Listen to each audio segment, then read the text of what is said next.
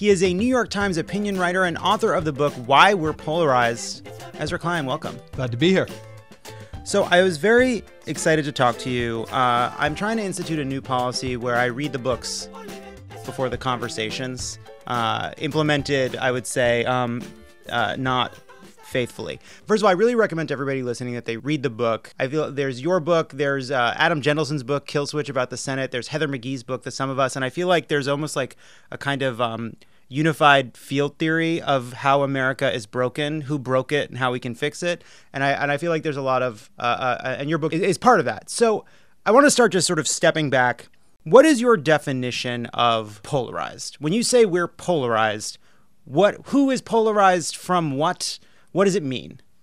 Thank you for asking that. That's super important. So, polarization, polarized, just means clustered around two poles. That is it, right? It's like it's a it's a concept from magnets.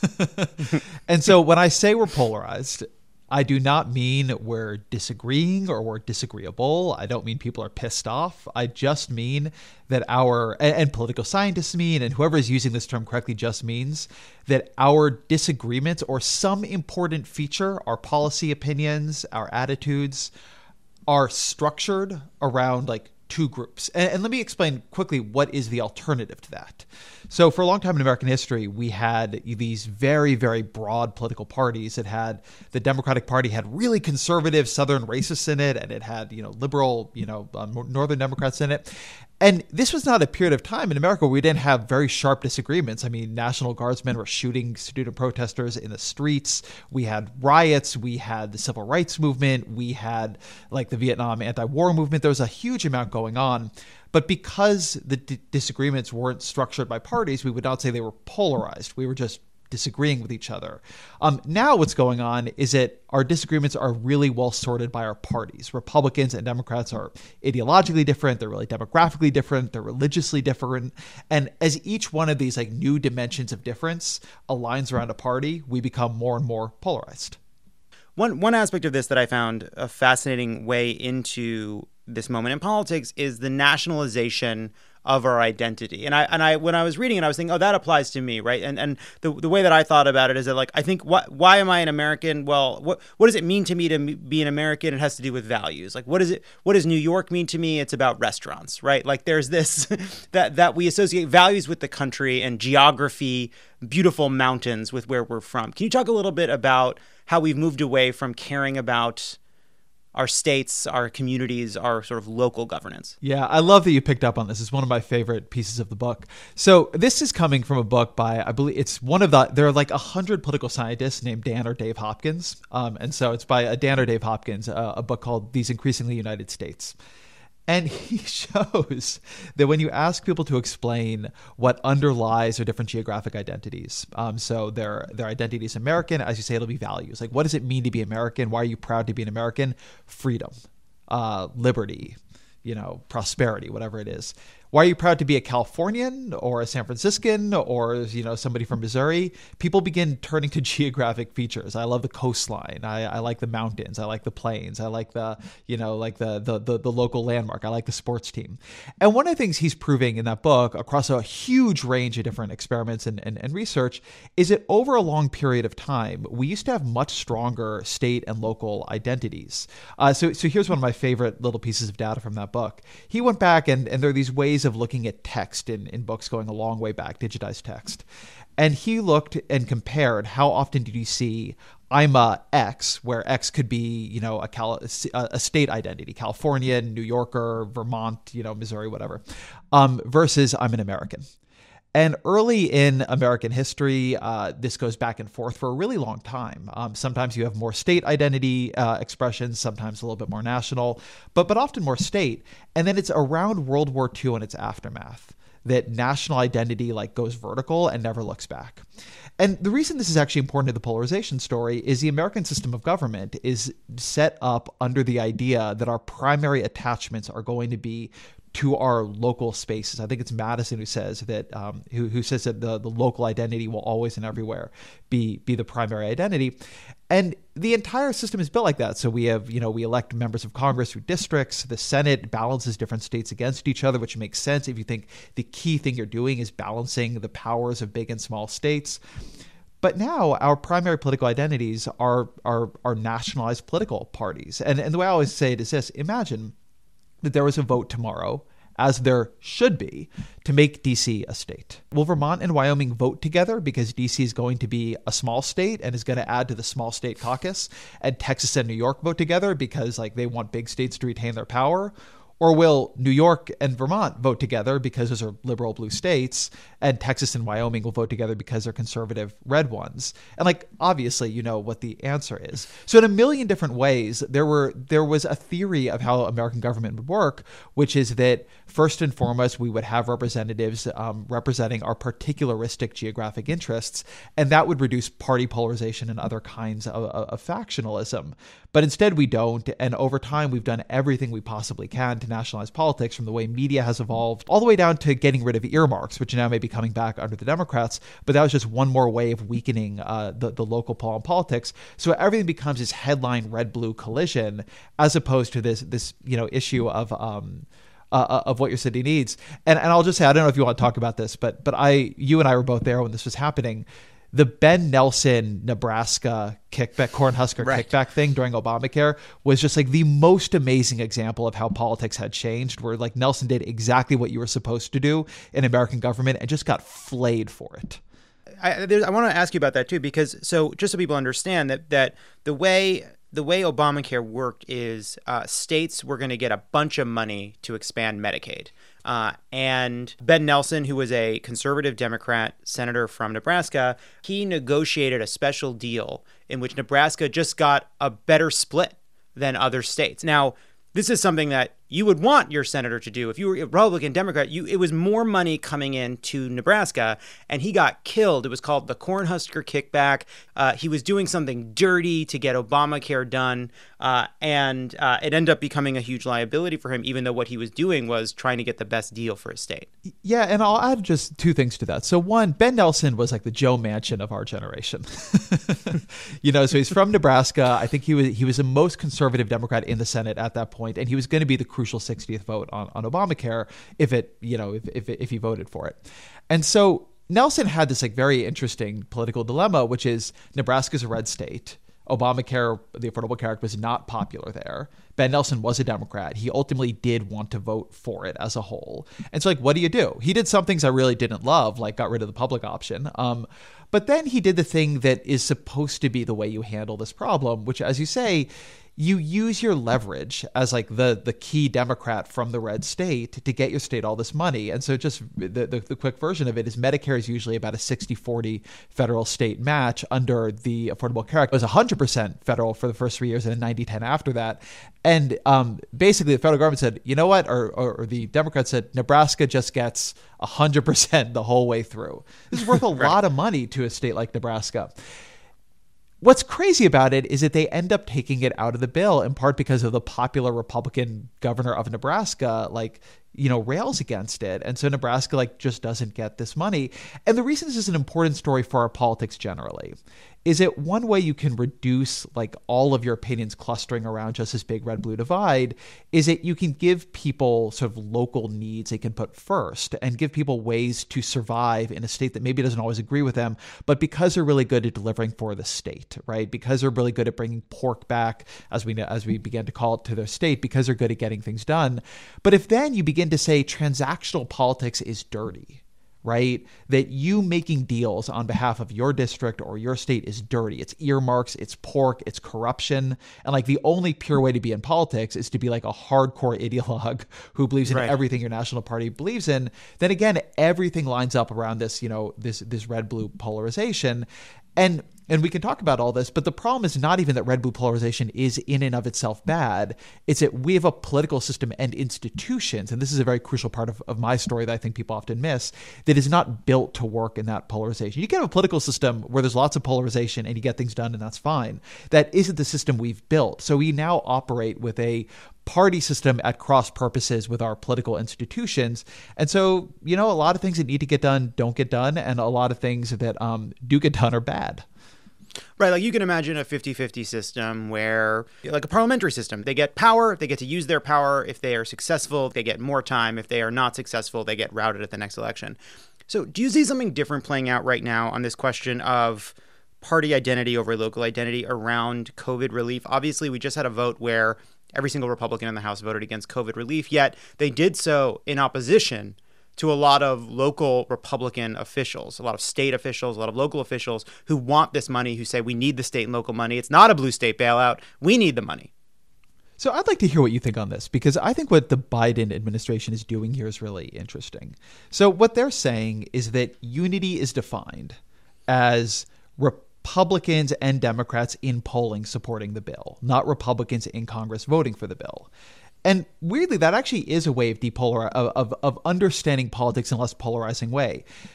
There is in among political scientists, among people studying this, this huge endless debate about what they call mass polarization versus elite polarization how polarized are just voters in terms of what they believe and how they feel versus how polarized are the people in Congress, people in the media, etc. And you can go a lot of ways with debate, but the, the simple finding is like elites are way more polarized than the public, particularly on policy. Um, the public is actually open to a lot of different approaches on policy, and the thing they do is trust their leaders to tell them what is the right approach.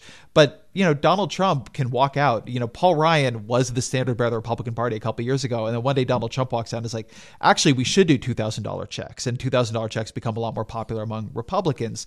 There's a lot of movement um, uh, that is possible among among the mass public in, in terms of what policies would make sense. So then the question becomes like who are you trying to make a deal with and the biden administration is basically the way they are trying to frame this is that they are trying to make a deal with what republicans want not with what republican national politicians want and true or not true. Like you can sort of argue the almost like semiotics of this, but it's a I think a more correct way of thinking about the question. One of my like endless frustrations with Washington is centrism is defined as choosing whatever is in the middle of the Senate as opposed right. to what is in the middle of public opinion, as opposed to what it is people want. So you endlessly have these like quote unquote moderates or centrists who have unbelievably unpopular opinions, who are in fact much more radical than people who are considered more ideological actors in politics who have actually come up with popular positions. And and that's I think been a very perverting thing on the on the system. I just saw a report yesterday that every morning, every single morning, Joe Manchin has a staffer text him the number of the national mm-hmm. debt that day. And I think that's supposed to be some centrist aesthetic.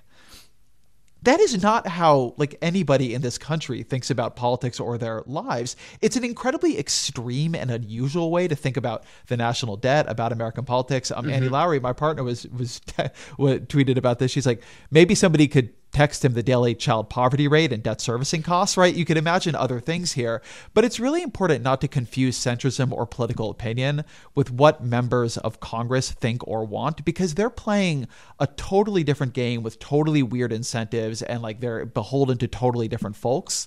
Um, but those two things are conflated all the time.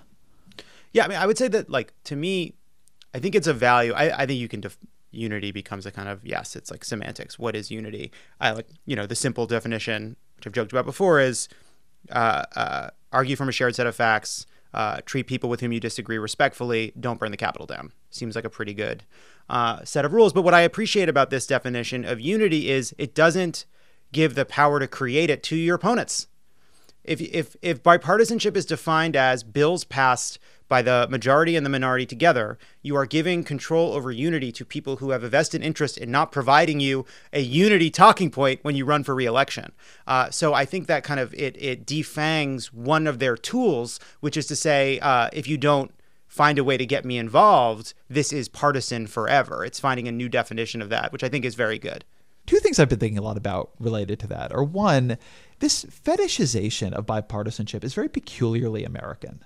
Like, if you follow Canadian politics or British politics or German politics, there isn't this idea that legislation is only uh, credible if it has been passed with the governing party and also the opposition party, the job of opposition parties is understood as opposing. And the reason it can be understood that way is that to be in power means you have a governing majority. So you don't need the opposition power party. The opposition party criticizes you and, and tries to convince the public they're right. And the public judges based on results and, and, and these arguments. So that's one thing. This idea of bipartisanship is, is pretty distinctively American, and it comes out of our political institutions, which require very high levels of consensus or at least compromise compromise to get anything done. We have a lot of veto points, supermajority requirements, etc. But the other thing that gets to this is there is this horrible fear of what I've come to call like ricochet legislating, and, and not only by by like like bad faith actors. I was just on I was on a TV show with Jon Tester, the, the Democratic senator from Montana, and I was ranting about the filibuster, and he said, "Well, you know, mm-hmm. the thing that would be really bad for the country is if you know Democrats do one thing and the Republicans come in and undo it." And I have exactly the opposite view. For one thing, if Democrats do something the public hates and they elect Republicans to undo it, then Republicans should be able to undo it. Conversely, if you can't actually pass things in the first place, then the public can't really decide they like what you did and keep you in power to do more of it or fix it or tweak it. And so we have in this country, I think, a deeper fear of the costs and consequences of getting things done than of not getting things done. There is a deep preference for the problems of inaction to the problems of action.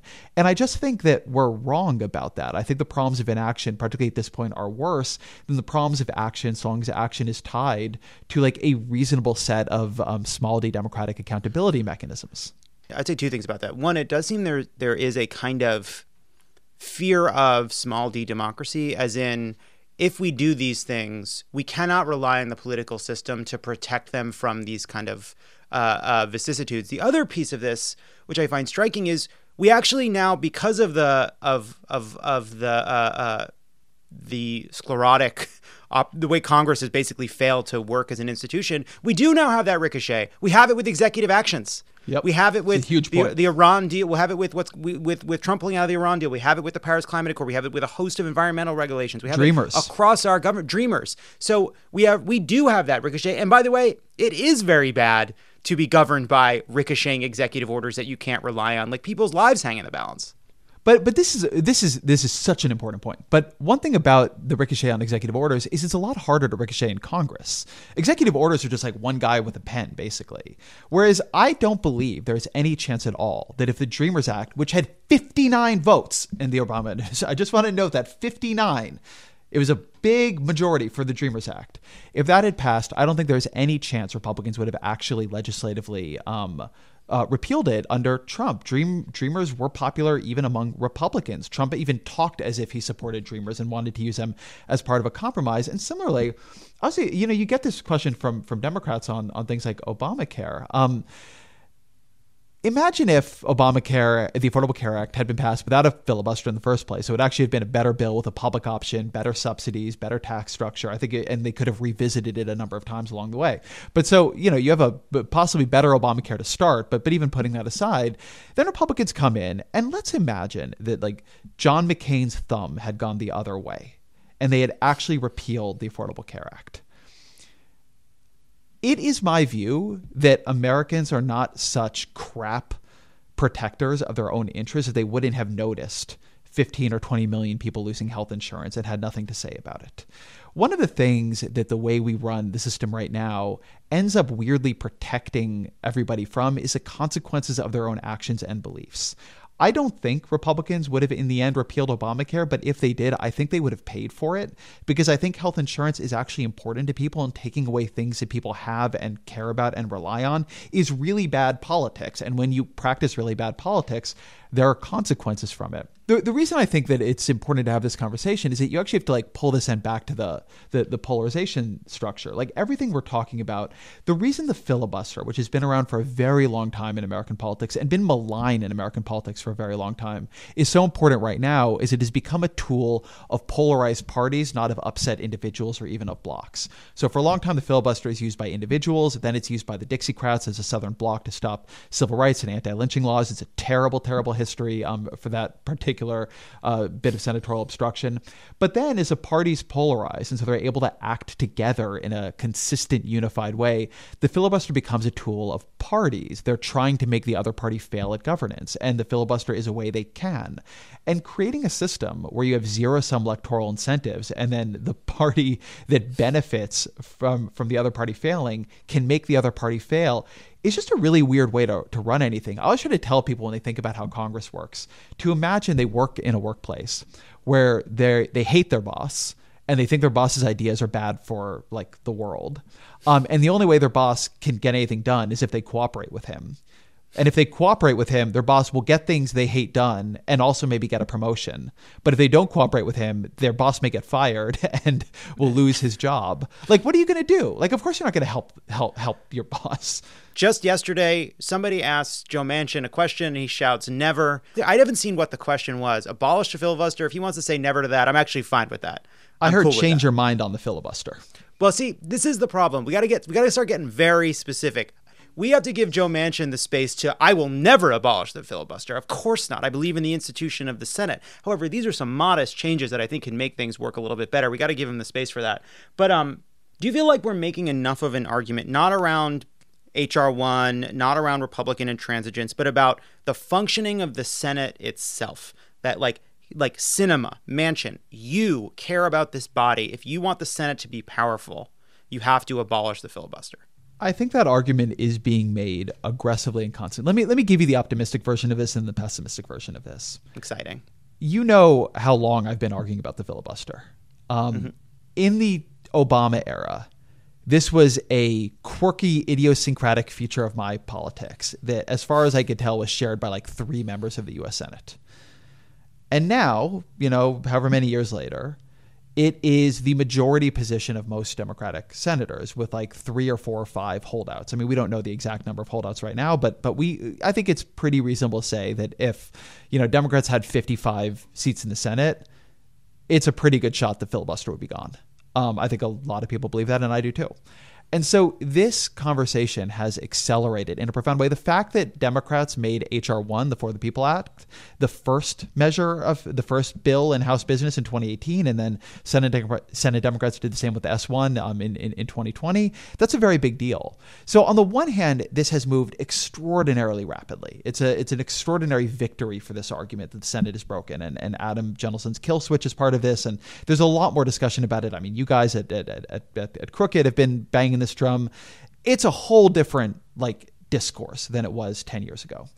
Um, but the issue is that as Democrats get further and further behind the eight ball in the Senate, if they don't take the rare opportunity they have to actually utilize their power and change the underlying rules, they're not going to have another option. So, on the one hand, I want to say to you, look, like we're probably still like five or six years away from this being like a unanimous view among the among, among Democratic senators, but there may not be five or six years, right? So, Democrats Right. after Donald Trump just did a horrible job and got wiped out in 2018 and then like you know like wiped out in 2022 they barely got 50 seats there right like they they barely got a senate a working senate majority and that's only with Senator Kamala Harris odds are in 2022 they're going to lose seats right that's both how the map looks and parties lose seats in midterms it's very it's going to be hard for them to build power from here. Not impossible but very hard for them. So by the time you know the last five get to the right answer on this it may be another 12 years before you can do anything on that. And that means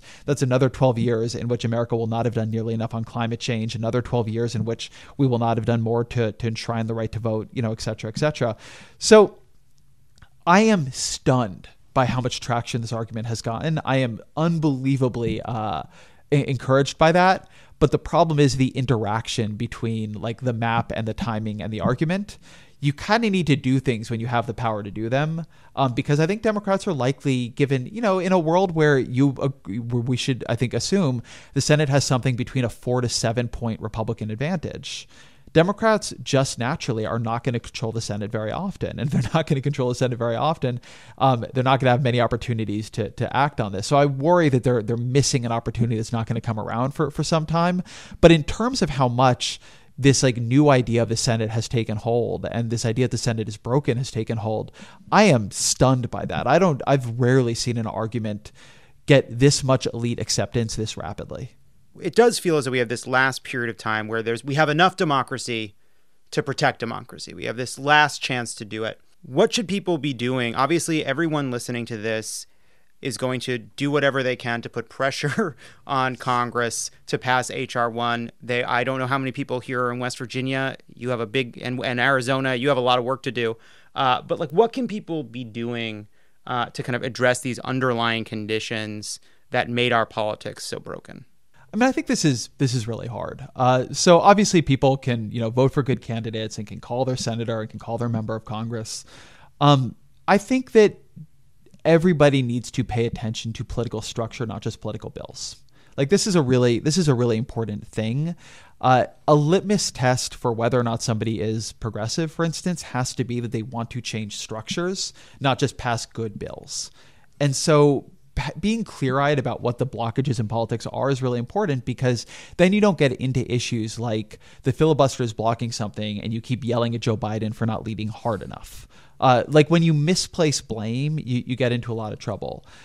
I don't have an answer for how everybody listening to the to the show can like fix politics, but one thing I would say is that in general, going back to something we talked about at the beginning here, one thing that would make a lot of politics healthier is if people did engage themselves locally. Uh, and that's not yeah. going to change the filibuster in the short term. But one thing that, that really does matter is that politics like redevelops some of these like local identities. It redevelops some of these local polls, and people learn how to wield power and political power locally. And there are a lot of people living in places that are not highly democratic listening to this show. And like they have particular um, possibilities to to sort of just change the map. Um, and that's not going to come from like elite national politics, like like beaming messages at people who are otherwise watching Fox News. It's going to come through local organizing. It's going to come through people running for school board and running for mayor. I am just like an endless proponent of people not being too nationalized, of getting involved where they are. I, I say in the book that I grew up in Southern California and we got the, you know, LA Times and I like cared about local politics and like what I wanted to do with my life was be involved in California politics. And I think now, if I were growing up, I was that same kid with the same level of political involvement. I'd be listening to to Lovett or Leave It and Pod Save America, and you know, reading Vox and so on. And my California political identity would be a lot smaller, and my nationalized political identity would be a lot bigger. So it is great. Like if you're listening to this show, I hope you listen to to my podcast, the Ezra Klein Show. But if you're not involved and reading like local political news, if you don't know who your state representative is, your state senator, like people doing that en masse is actually an achievable thing that would make not just like national politics healthier, but often local politics healthier too.